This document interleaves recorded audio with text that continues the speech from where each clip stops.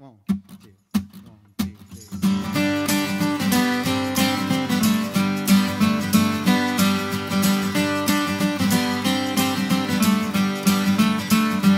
If you love me, don't you let me go.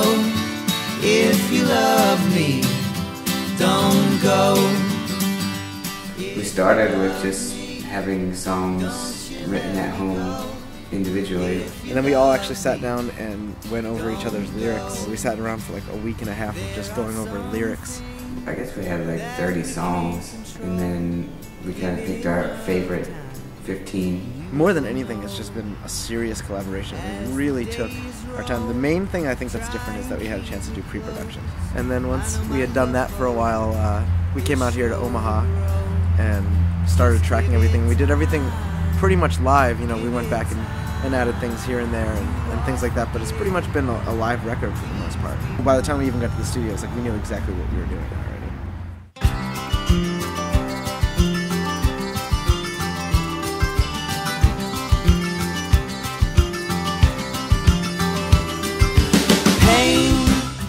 It was very extraordinary how that happened. I think these new songs were approached differently in a way that in the past we kind of just, you know, everyone put their songs in and we recorded them. We sat around and we, we pretty much, you know, extrapolated every aspect of every song and tried to make it the best that everyone thought it could be.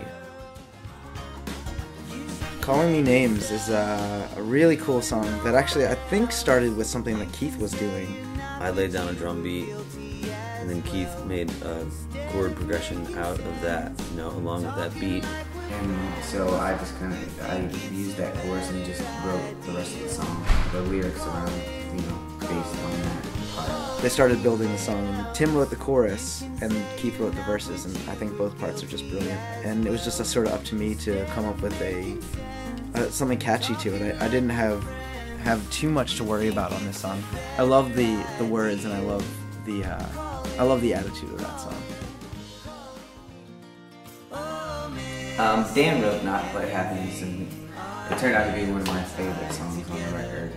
It's mellow, it's kind of like a ballad, but it's, it's, it says a lot, it means a lot to me, you know. Lyrically, it makes a lot of sense, and, and when I was singing it, it was kind of choking me up at, at points in time. But Not Quite Happiness is another relationship idea of a song that I brought in uh, about settling, about you know being with somebody. Sometimes you find that you you love them and you and you love them so much and you don't know why, um, but you're not really understanding.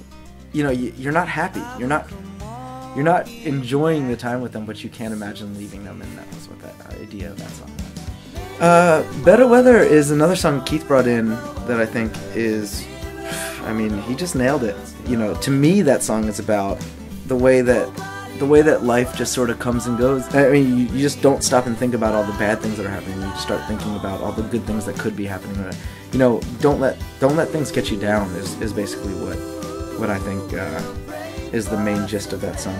Well, like I said, I wrote, you know, a couple, of four of these songs in the same day. Better Weather was funny because when I'm sitting there and I'm making music all day long, I just had melodies running through my head at all points in time. And at this point in time, I had this melody, this random melody in my head, and I was walking out to go get some pizza. It was raining and it popped in my head like, you know, pray for some better weather or something like that. And I was like, I'm gonna go in real quick and just lay this idea down.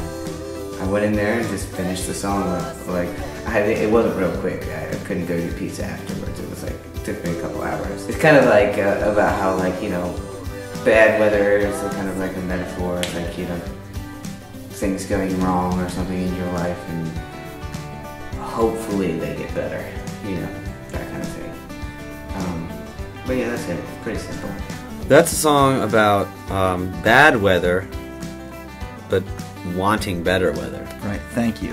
Thank you. Because I was worried about you know I didn't understand what the song was about. So I Well, you'd understand it if you heard the lyrics. Once you hear it, you're gonna be like, oh, better weather. yeah. Plus, it it really helps to be explained in those terms, like the words that you used. I, I felt like that really came clear Right. to me. Bad weather. I want better weather. Give it to me. There you go. You have amazing eyes. Um, Amazing Eyes is a song that I had, I have been, I have been working on for two or three years or something. One of the first songs that I wrote for this band, I tried maybe five different versions of the song, couldn't really finish it. We met with a student, um, Matt Hales.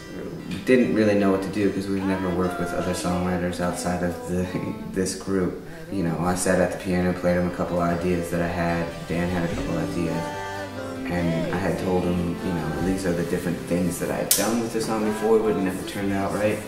And within like two minutes, he had another part for the song that just kind of made this all make sense. We took a day with that guy and with Matt and um, just finished the song.